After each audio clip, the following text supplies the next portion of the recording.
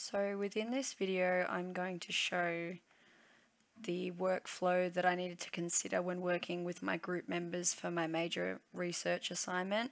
So I have Revit open here. This is some of the early room configurations that we were looking at for some uh, for a stroke rehabilitation space. So we have single rooms and double rooms.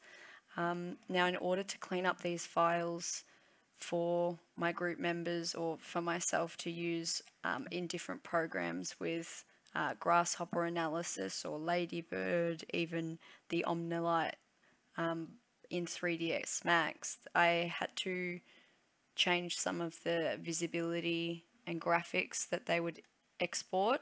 We don't need the doors, windows or furniture. So I'm going to go into the perspective view for the 3D scene, uh, which you can just find up here. And I'm going to go to the visibility and graphics override window. Now you want to ensure that doors, which is already switched off, we want furniture and furniture systems to be switched off. Um, these have little sinks and things, so plumbing can be turned off. Uh, and windows are already turned off. So if we apply those settings, you can see that a lot of the room now is empty.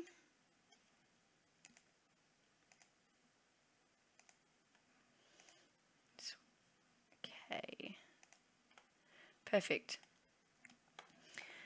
Now, the best file that I found, which was universal for a lot of the analysis, was the STL file.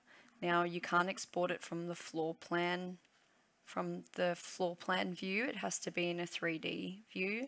So, file, export, STL, ASCII, and you want to use the current scaling system and then you can save that.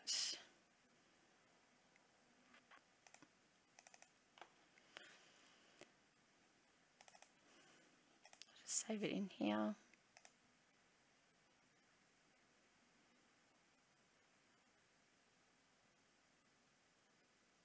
And once that's saved, then you have your file, which can be used across various different programs